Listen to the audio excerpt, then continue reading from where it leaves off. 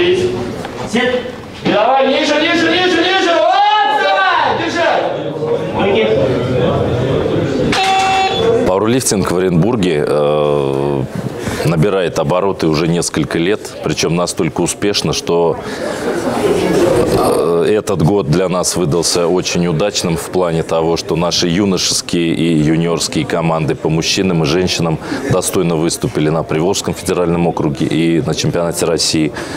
Среди юношей и девушек заняли призовые места. Первые, в частности, среди девушек. Да, э, одна из участниц выиграла и отобралась на чемпионат мира среди юниоров, который пройдет в сентябре в Чехии. Нынешняя чемпионка России на соревновании области занимает позицию одного из трех судей, ведь на собственном примере она знает, как правильно делать упражнения. Упражнение должно выполняться верно, в правилах написано.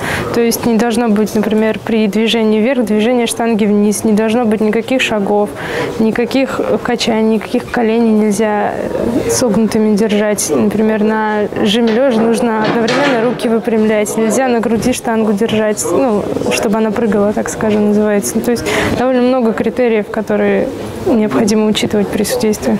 В соревнованиях по пауэрлифтингу принять участие может спортсмен любого возраста. Самой маленькой участнице Кубка Дарья Ломацкой всего 13 лет. Я занималась до этого э, теннисом большим, и мне просто вот, ну, как бы надоело этим заниматься. Ну и узнала про этот вид спорта. Максимальный мой рекорд это вот э, сейчас я как раз таки 120 килограмм в приседе, э, в тяге 110 и в жиме 47.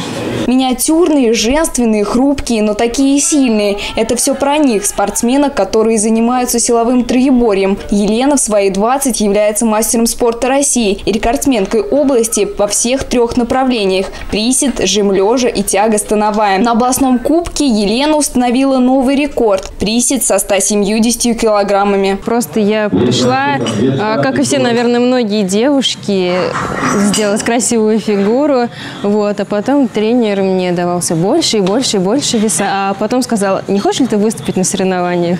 Ну, я подумала, почему бы и нет. И на первых своих соревнованиях я собрала сумму первого разряда. Вот такие они сильные женщины. Кстати, участники соревнований мужского пола по секрету признались нашему телеканалу, что не все из них могут себе позволить такие веса поднять. Ксения Цурко, Александр Грачев, городской телеканал ЮТВ.